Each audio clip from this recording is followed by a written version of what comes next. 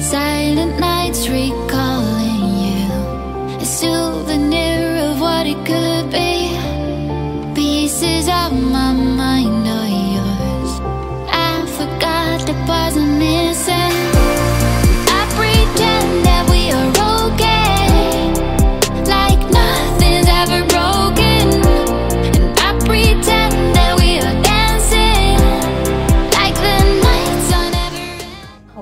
Morning everyone! This is Pastime, etc.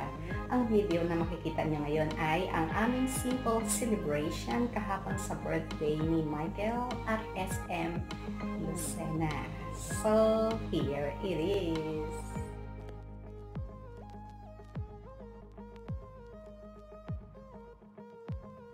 Actually, ang ganda ng ambience ng lugar na to. Yang makikita nyo, ceiling pa lang yan. Ang ganda ng mga lightings nila and other decorations. Yung mga shelves nila made of woods. Yung mga nilalagyan nila ng mga decorations at the back. Ang ganda. Oo, at nilabas na ang ngipin.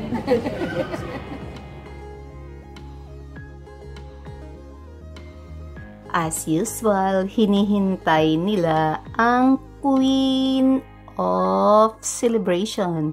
Ano nga yun? Hindi lechon, kundi crispy pata. Ayan, ready to serve. Birthday! Birthday, Michael! Yan, kasali ako. Picture mo lang. Hindi kumpleting lahi pag wala ako.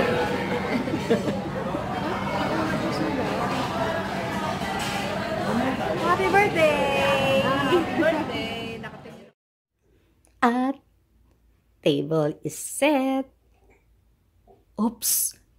Picture muna. So, ready? One, two, smile. Another one. Ayan, tapos na. So, kainan na tayo.